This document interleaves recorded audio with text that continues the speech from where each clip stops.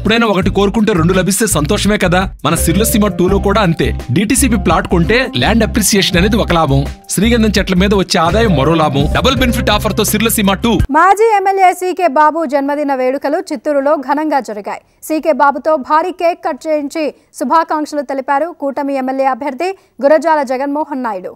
ఈ వేడుకల్లో TDP BJP Janasena శ్రేణులు పెద్ద సంఖ్యలో పాల్గొన్నారు. వైసీపీ కుట్రలు అసత్య ప్రచారాలను ప్రజలు నమ్మే పరిస్థితుల్లో లేరన్నారు. తనపై వ్యక్తిగత విమర్శలు చేస్తున్న వైసీపీ నేతలకు ఎన్నికల్లో గుణపాఠం చెబుతామన్నారు. చంద్రబాబు నాయకత్వంలో కూటమి అధికారంలోకి రావడం ఖాయమన్నారు. చంద్రబాబు మోదీ పవన్ కళ్యాణ్ శక్తిని ఎవరూ ఆపలేరన్నారు. ఈరోజు జయచంద్రారెడ్డి అలియా సీకే బాబు గారి జన్మదినోత్సవం సందర్భంగా ఇక్కడ వారి ఇంటికాడికి విచ్చేసినాము. మీరు చూస్తున్నారు అశేష జనవాహిని. ఇంచుమించు పొద్దున్న లేసి ఇప్పటికి నాకు తెలిసి పదివేల మంది వచ్చి వారిని విషస్ చెప్పెళ్ళారు. సో ఒక మంచి నాయకుడిని ఈ చిత్తూరు నియోజకవర్గం హ్యాట్రిక్గా మూడు సార్లు ఎన్నుకునింది కాబట్టి నేను కూడా వారి ఆశీస్సులు పొందేదానికి వచ్చినప్పుడు వారి ఇంట్లో ఒకటిన్నర అవర్ మాట్లాడినాక ఒకే మాట చెప్పాడు. చంద్రబాబు నాయుడు గారు ఏదైతే నీ పైన నమ్మకం ఉంచి చిత్తూరుకు పంపారో నేను కూడా నీకు మద్దతు తెలియజేస్తాను అంటూ మరుస రోజే ఆదివారం ఇంట్లో మీటింగ్ పెట్టుకొని నన్ను ఆహ్వానించి వారి కార్యకర్తలకు కావచ్చు వారి నాయకులకు కావచ్చు వారి అభిమానులకు అందరికీ ఒక మంచి వ్యక్తిని ఎన్నుకున్నాడు చంద్రబాబు నాయుడు గారు.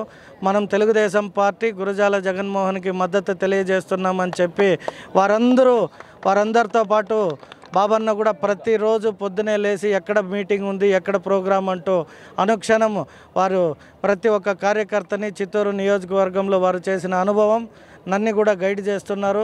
కాబట్టి ఈ రోజున వారి బర్త్డే కాబట్టి ఆ భగవంతుడు నిండు నూరేళ్ళు ఆరోగ్యం ఐశ్వర్యం అధికారం అన్నీ ప్రసాదించాలని కోరుకొని మేము కూడా విష్ చేయడానికి వచ్చాము. ఇక్కడ ప్రజల ఉత్సాహం చూస్తుంటే చంద్రబాబు నాయుడు గారు నిన్న విజయవాడలో మాకు వర్క్షాప్ నిర్వహించారు. నూట అరవై సీట్లు మించి గెలియాలన్నారు.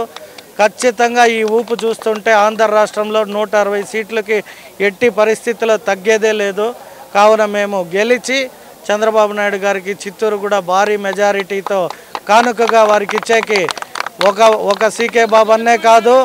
అలాగే ఆదికేశులు గారి కుటుంబం కావచ్చు ఏఎస్ మనోహర్ అన్న కావచ్చు జంగాలపల్లి సీనన్న గారు కావచ్చు కటారి ఫ్యామిలీ కావచ్చు ఎన్పిఎస్ నాయుడు బంగ్లాకు సంబంధించిన నాయకులు బీజేపీ తరపున కావచ్చు అలాగే జనసేన తరపున కావచ్చు.